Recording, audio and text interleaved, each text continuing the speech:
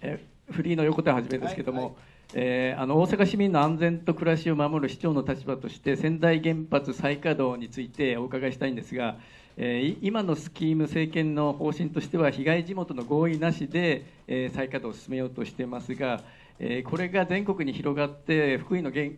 原発が同じように再稼働した場合、えー、大阪が被害地元として、まあ、同意なしで進められる恐れがあると思うんですが、その辺についての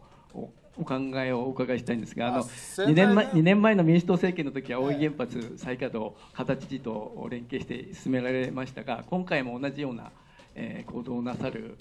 お考えないがないのかどうかお伺いしたいんですがこれはあの国政政党の方の維新の党で、えー、原発の再稼働の責任法案というものを考えるようにということを指示を出していまして、え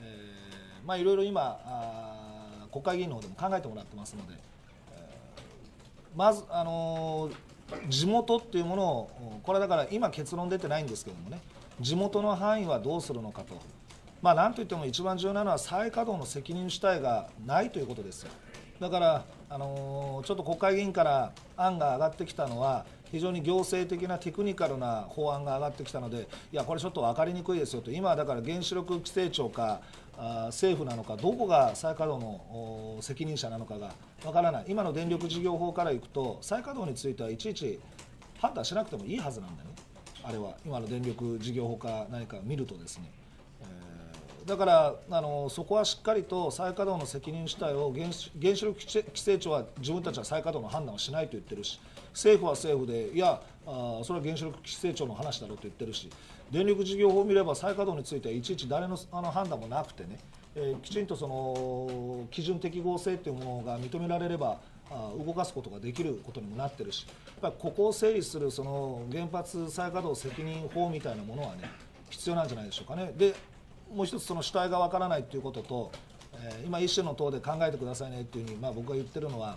避難計画ですよ。で今度は避難計画の作成主体は自治体になってるわけです。じゃあこれチェックっていうものはきちんと誰が責任を持ってやるのか決まってないわけですよ。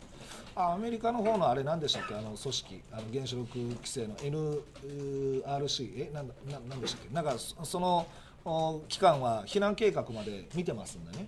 えー、だか原子力規制庁が避難計画をきちんと見るのかどうなのか、そこも分かって分からない、だから再稼働するための主体がはっきりしないということと、再稼働の条件としては避難計画がきちっとできることで、原子力規制庁の安全基準を満たすこと、それからやっぱり使用済み核燃料の最終処分の問題ですよ、これやっぱり総量規制というものを入れないと、どう考えたってこれ、えー、もう容量いっぱいいっぱいになるわけですから。だからこういうものを合わせた形での、まあ、あとはあ現売法の改正でやっぱりあれも誰が責任を負うのかよくわからないんでね、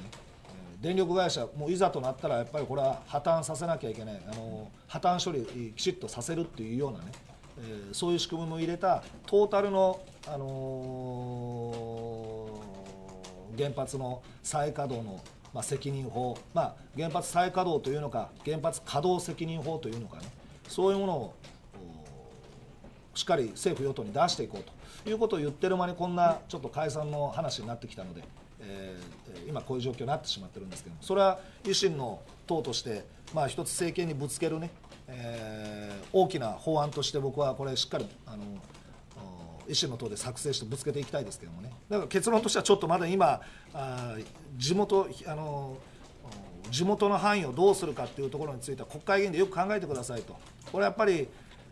全市町村の同意なんていうのは、これは不可能ですしね、じゃあ、あの30キロ圏内の同意を求めるのか、それともやっぱりそれは都道府県の同意なのかね、電力会社の今、所管、ま原発の原発をの事業主体である電力会社っていうものは、この関西圏域とかそういうところのエリアでこう事業をやってるわけですからそうなると関西広域連合なのかそれとも都道府県レベルなのか、まあ、正直ちょっとそこ分からないので国会議員でしっかり議論してくださいと言ってます。で何でもかんでも市町村で同意ということになるとやっぱり僕らは国の統治機構行政機構にものすごい関心を持ってるのでそうなると、まあ、多分質問者と僕はここ意見違うと思うんですけど基地問題なんかなってもねやっ僕は防衛政策とかそういうことはやっぱりこれは申し訳ないけれども国全体での判断というものを重視しなきゃいけないと思ってるんで地元の声を無視しろとは言わないけれどもでもだからといって市町村に決定権まで最終決定権まで与えていいのかっていうのはやっぱりちょっと僕は今悩んでるところですね。それは違うんじゃないかなと思ってるので、